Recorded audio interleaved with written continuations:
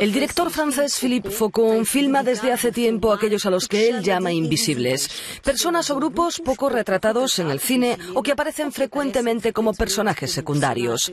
Su última película, Fátima, es una obra poderosa y sensible sobre la vida de una inmigrante magrebí en Francia.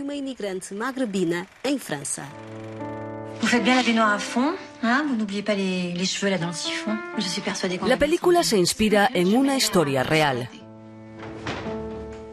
Fátima trabaja haciendo limpiezas para pagar la escuela de sus dos hijas. La mayor se prepara para entrar en medicina. La pequeña es una adolescente rebelde que no acepta sus orígenes modestos ni el hecho de que su madre no hable francés.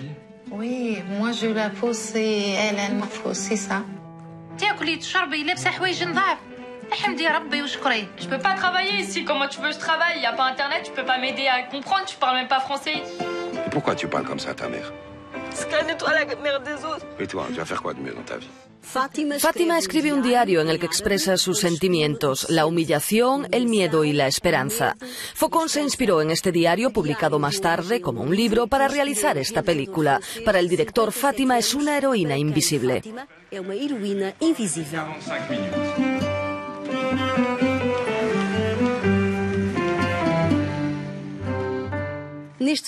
En esta película nada es forzado. Gracias a una puesta en escena sobria y delicada, Fátima es un momento de pura emoción. Espero que goste. Até breve.